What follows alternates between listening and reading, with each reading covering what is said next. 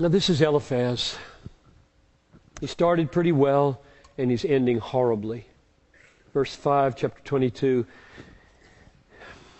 Is not your evil abundant? There's no end of your iniquities.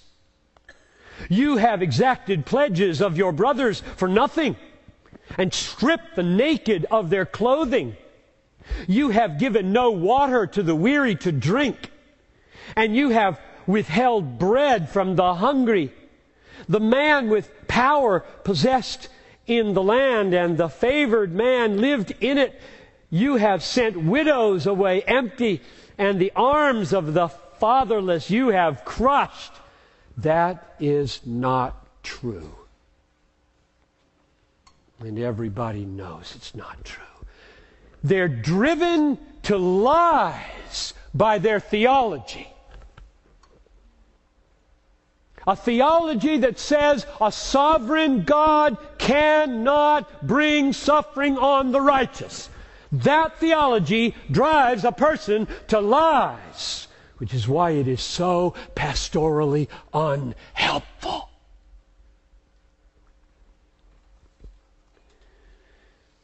Well, Bildad tries for six verses, and Zophar shuts his mouth.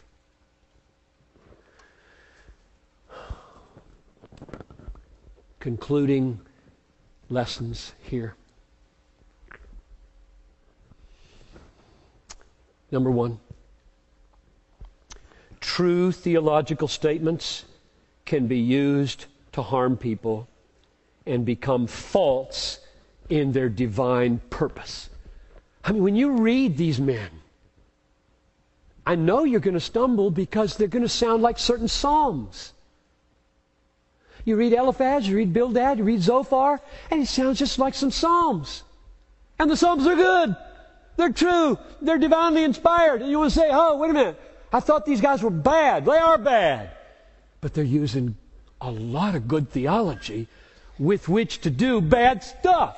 They're so unkind. They're so impatient. They're so brittle. They make so few distinctions. They don't have the capacity to handle the complexity of life with their little simple boxes of you're bad, you get bad. You're good, you get good. That won't work. Job has driven the point and silenced them.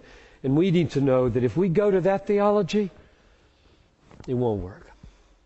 Number two, second lesson Suffering and prosperity are not distributed in the world in proportion to the evil or the good that a person does. Suffering or prosperity are not dispersed in the world in proportion to the evil or the good that people do. Job is right in chapter 21, verse 30, when he says, The wicked are spared in the day of calamity. Job is right in verse uh, chapter 12, verse 4. The just and blameless man is a laughing stock. And therefore, brothers and sisters, let us be slow to judge each other's hearts by whether we lost a job, or a marriage begins to falter, or a child leaves home, or a disease comes, or reputation is sullied. Let us be slow. Oh, we know, we know now what that heart is because this and this and this happened. You don't know. You don't know. That's the point. Number three, lesson number three. Nevertheless, even though suffering does not fall and prosperity does not fall according to how much good and evil people have done, nevertheless, God still reigns over the affairs of men, from the greatest to the smallest. God is sovereign.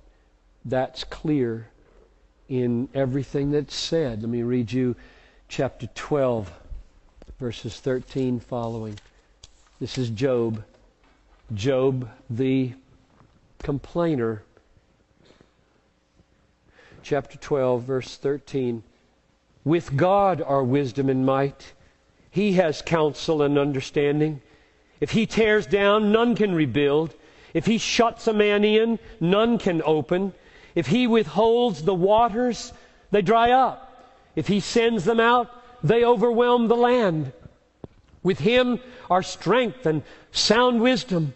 He deceived, and the deceived and the deceiver are his. Now that's Job in the midst of his suffering and in the midst of his complaining, saying, God is still sovereign. And lastly, there is wisdom behind the apparent arbitrariness of this world, but it is a hidden wisdom by and large. Not totally, as we'll see when we turn to the speeches of Elihu next. But let me close by reading something from chapter 28. Chapter 28, verses 12 and 13, and verse 23. 28, 12. This is Job. He's near the end. Where shall wisdom be found? And where is the place of understanding? Man does not know its worth, and it's not found in the land of the living. So it's not in man. Verse 23 God understands the way to it, and he knows its place. Job, and I'll show you more of this, especially from chapter 19 as we make the transition to the speeches of Elihu. Another, another young man appears on the scene, and he doesn't like what Job has said, and he doesn't like what Eliphaz, Bildad, and Zophar has said. Who is this man? Is what he says better, or is it more of the same? So we're going to build a bridge to Elihu by going back to chapter 19, where Job says, I know that my Redeemer lives and from my flesh I will see God. Let's pray. Father in heaven, I tremble at the experience of Job. I, I do not predict what my emotions would be if you struck me with such boils.